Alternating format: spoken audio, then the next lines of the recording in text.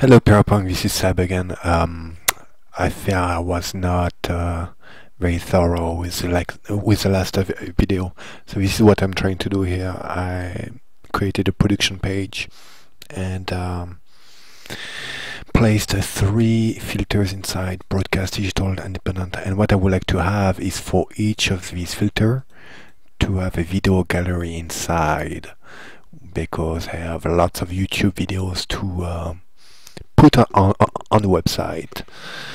So I need a video gallery, basically, filtered, if possible. And this is what I have here from one by one. Um, I start with the portfolio, I have the production here. And inside I have uh, three sets of portfolio, broadcast, digital, independent.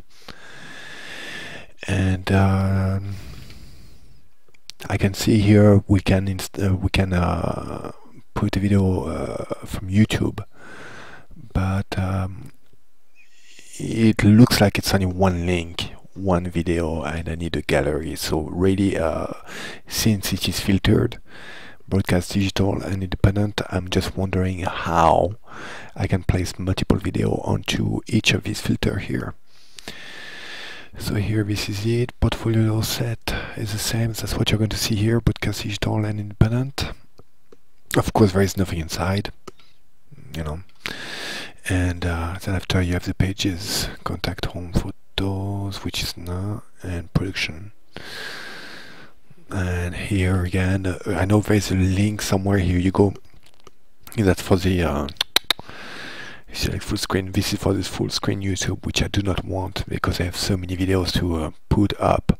It's um, it will not be good at, at, all. All I need is just one gallery of videos per um, per filter, broadcast, digital, and independent. So let me know, and uh, I'm just wondering what you see here around my mouse. I'm just wondering what this is here. It looks like it might be coming from the pages, and uh, I'm not sure how to get rid of this.